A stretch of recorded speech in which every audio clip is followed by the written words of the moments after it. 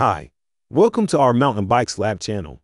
In this video, we are looking at the topic Diamondback Overdrive 29 Hardtail Mountain Bike Review. We highly recommend you to read the full in-depth blog post by go to the link below. So, let's dive in. Growing up, almost every kid wanted to own a Diamondback bike. Now that they are all grown up, the new Diamondback Overdrive 29 Hardtail mountain bike is making them those old feels again.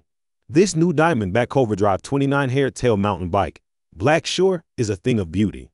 Just buy one of these, and you are free to speed around the world. This bike certainly worth every cent spent on it, and this Diamondback Overdrive 29 Hardtail mountain bike review will tell you why. In the full blog post we have written on our website, we have done hours of research and divided the topic into the following areas. Number 1. Quick release seat adjustments. Number 2. Sturdy frame. Number 3. Large wheels. Number 4. Good brakes. Number 5. Pros and cons, and some related matters. As I mentioned before, we go into much more detail in our blog post about the above topic. Inside that article, we dive into each of the areas above, covering many more questions around them. Just click the link below and you can read all about the research we have done on this topic.